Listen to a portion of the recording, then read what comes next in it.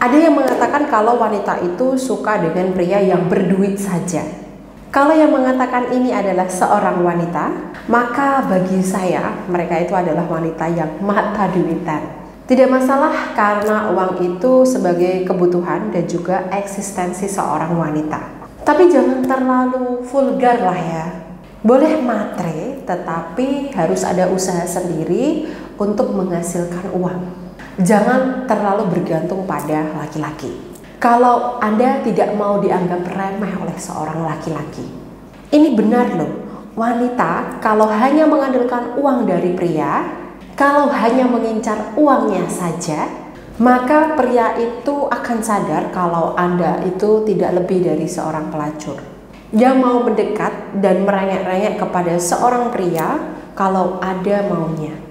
Nah, Mbak Maida, kalau misalkan ada yang mengatakan wanita itu suka seorang pria hanya karena ingin uangnya saja, kalau yang mengatakan kalau yang mengatakannya itu pria bagaimana?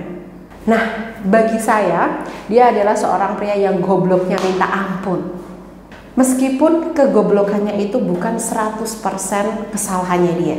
Tapi salah nenek moyangnya yang dari kecil hobi mengajarinya seperti ini. Kamu gak usah bingung cari wanita.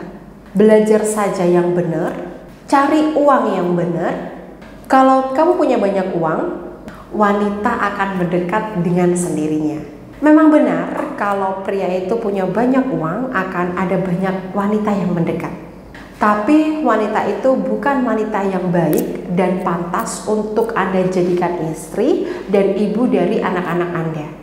Yang lebih banyak mendekat adalah wanita pelacur yang hanya butuh uang dari Anda saja.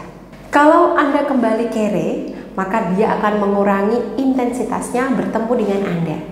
Dia akan mengurangi sikap manisnya kepada Anda dan lama-lama dia pun juga akan meninggalkan Anda.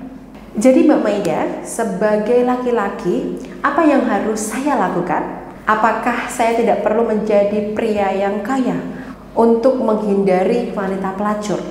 Bukan. Jadi bukan itu maksud saya. Anda tetap harus menjadi kaya.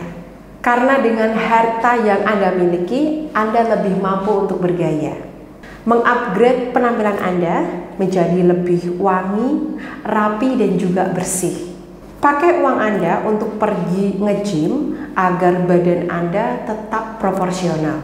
Pakai harta Anda untuk membahagiakan teman-teman dan juga keluarga Anda supaya Anda mempunyai lingkungan yang positif dan mendukung keberhasilan Anda. Jadi untuk menarik wanita yang baik ke dalam kehidupan Anda, pastikan Anda memiliki mindset soal wanita dan juga uang. Mindset yang tepat soal wanita dan juga uang. Nah, untuk pria yang sedang sendiri dan memerlukan bantuan saya untuk bisa meluluhkan hati wanita yang ia inginkan, silahkan hubungi saya dengan cara menghubungi nomor yang ada di deskripsi video ini. Saya tunggu pesan dari Anda dan saya akan berikan solusi terbaik untuk Anda.